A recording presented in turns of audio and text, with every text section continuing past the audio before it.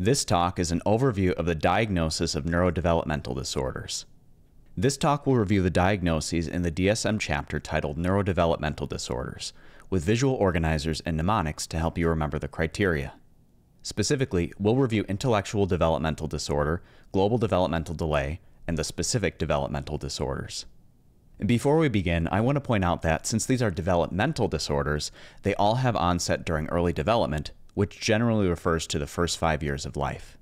Let's start with intellectual developmental disorder. IDD, previously known as intellectual disability, involves deficits in intellectual and adaptive function in the areas of conceptual, social, and practical skills. To make this more concrete, here are some examples of these skills. The conceptual area includes reading, writing, and mathematics. The social area includes speaking, communicating, and socializing and the practical area includes basic and instrumental ADLs. Basic and instrumental ADLs can be remembered with the mnemonics wet the bed and depend, as shown here. Basic ADLs are basic self-care tasks, while instrumental ADLs are more advanced tasks required to maintain an independent home. Basic ADLs can be remembered with the mnemonic wet the bed, walking and transferring, elimination or urinary and fecal continence, toileting and grooming, bathing, eating, and dressing. Instrumental ADLs can be remembered with the mnemonic depend. Dollars, which refers to managing finances and shopping. Environment, which refers to cleaning and performing maintenance on a home as well as doing laundry. Being able to use a phone or communicating through other means. Eating, which in this case refers to cooking meals.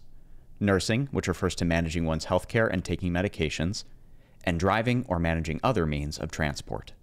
Let's move on to global developmental delay, GDD simply involves failure to meet developmental milestones in multiple different areas of development. The main areas of development include gross motor, fine motor, social, and language. Here are examples of skills in each of these developmental areas. GDD is generally used as a placeholder diagnosis for patients less than 5 years old who are unable to participate in formal testing for developmental milestones. Once testing can be performed, then diagnoses of specific developmental delays can be used instead. Let's move on to what I call the specific developmental disorders. These can be divided into speech disorders, motor disorders, and learning disorders. Speech disorders involve difficulties with different aspects of speech and language. Language disorder involves difficulty acquiring and using language. Speech sound disorder involves difficulty with producing specific speech sounds, such as lisping or mispronouncing certain syllables. Fluency disorder involves difficulty with fluency and time patterning of speech. Stuttering is an obvious example. And social communication disorder, also known as pragmatic communication disorder, which involves specific problems with using both verbal and nonverbal social communication. Motor disorders include the aptly named developmental coordination disorder, which involves difficulty with coordinated motor movements. For example, clumsiness, such as dropping or bumping into things, or inaccuracy, such as difficulties writing or playing sports. It also includes stereotypic movement disorder, which involves repetitive and purposeless motor behaviors, such as hand waving, body rocking, head banging, or hitting oneself. Finally, specific learning disorder involves learning and using academic skills below the level expected for the patient's age.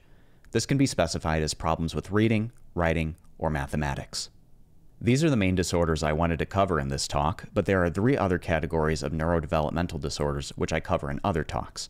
Autism spectrum disorder, attention deficit hyperactivity disorder, and tic disorders. That's the end of this talk. I hope this is a useful guide to these disorders. Thank you.